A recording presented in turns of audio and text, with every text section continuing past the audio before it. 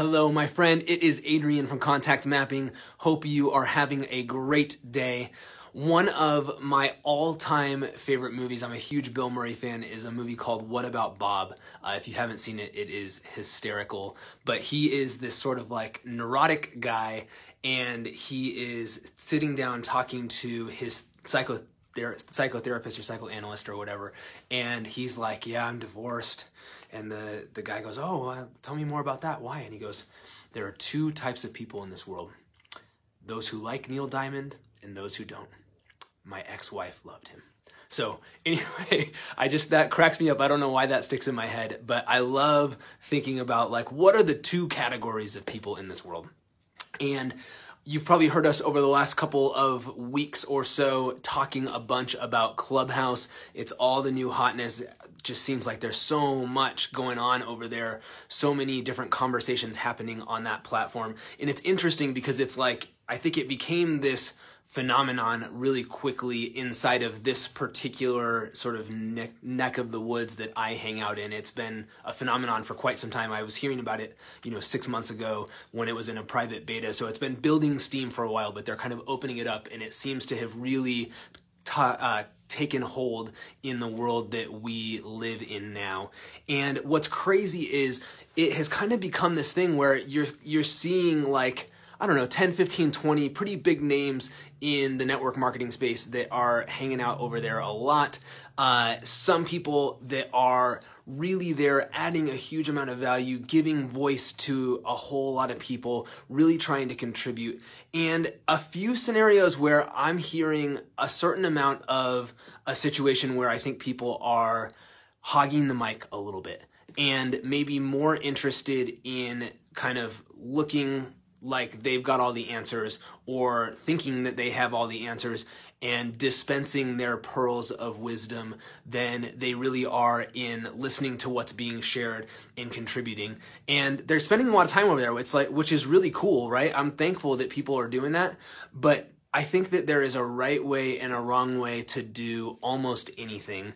And I think that the best conversations on Clubhouse are a lot like the best conversations that you've ever had at a dinner party or at a small gathering of friends or whatever, right? The best kinds of conversations in any one of those kinds of gatherings, and I think Clubhouse is the digital manifestation of that, is the best kinds of conversations are the ones where the little guy in the room, the person who isn't the one driving the fanciest car, who isn't the one who is, you know, has a huge following or who everybody sort of looks to because they're supposedly, you know, the the big shot in the room, that that person is as valued and as heard and as looked after as the people with the big microphones or the big followings.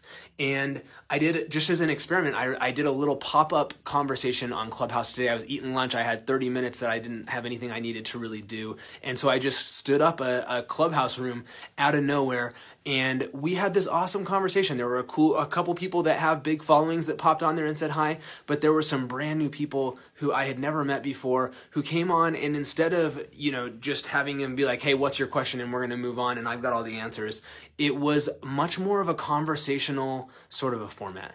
And so, no matter what you're doing, right, there's a place for advice. There's some incredible advice being given on Clubhouse. I got no problem with that at all. But if you are in the business of giving device advice, if you're in a position to give advice because you have earned that platform, do it in a way that is honoring to the people that are listening to you. And where you can get to know their story give them an opportunity to shine inside of that conversation. I think there's huge value in that. I think we all want to be seen. We all want to feel a part of the club, right? I love the name of this app, Clubhouse, because we want to feel a part of the club, right? It's not the cool people and the people down there. It's about being part of a club, being part of a community where we get to have an exchange of ideas and it's fun and powerful. And so I think that's an idea that applies not just to Clubhouse, it applies to everything that we do Where can you be a force to help other people feel better about themselves as a result of interacting with you? One of the things that we have in our coffee shop interview that we talk a lot about is this idea, right? Every, one of our six rules for every conversation is that the person on the other side of the table should feel, feel better about themselves at the end of that conversation than they did at the beginning. And it's as simple as making people feel valued, finding a way to catch them doing something right, finding a way to pay them an authentic compliment. You can add so much value to people's lives by just seeing them and looking for that opportunity to lift others up, to be a blessing to other people. So I want to encourage you to do that. The other thing I want to invite you to do, if you are plugging into to Clubhouse or you're using any kind of social media to build your business, to grow, to connect with others, I want to invite you to come and check out the contact mapping app. I'm having so many conversations these days that it just starts to all run together. And the most powerful way for me to be able to keep people straight and to remember who is who is I am documenting that in my app so that now I'm able to not just have these be little flashes in the pan, but instead to build a real relationship relationship and a real connection with people that lasts beyond a tiny conversation. And so I want to invite you to do that. I want you to invite you to come and see what that's about. There's a completely free version, so you can go and check that out. And so if you want to check out the app and just see what it's all about, just put app in the comments. I'd be happy to shoot you link over to set you up. And it's awesome. It's easy, it's fun, it's powerful, and it shows you what to do. And so I'm excited for you to check that out. But at the end of the day, we're all in the business of making people feel seen, connecting powerfully and meaningfully, and business results are going to manifest themselves as a result of that. So, thanks for being here with me today. Great to see you, Trip Stewart, brother. Long time no see, man. Miss you. Hope you're doing well. Thanks for jumping on here today, and I will catch you all real soon. Thanks a lot. Bye bye.